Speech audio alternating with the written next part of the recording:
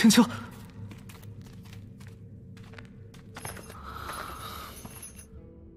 他刚刚知道真相，让他自己冷静一下比较好。真相是什么？很重要吗？很重要，他得明白哪些是你做的，哪些不是，以及你为啥这么清楚有什么用？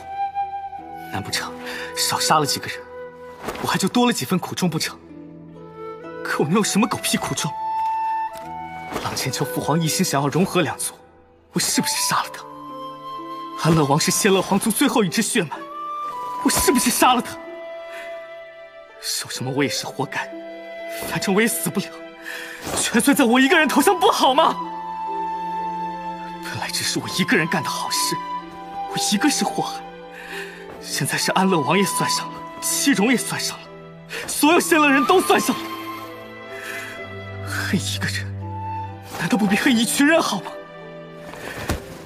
难道就非要让他发现，从前我教他的，真的全都是假的、空的、不值一提的鬼扯的废话吗？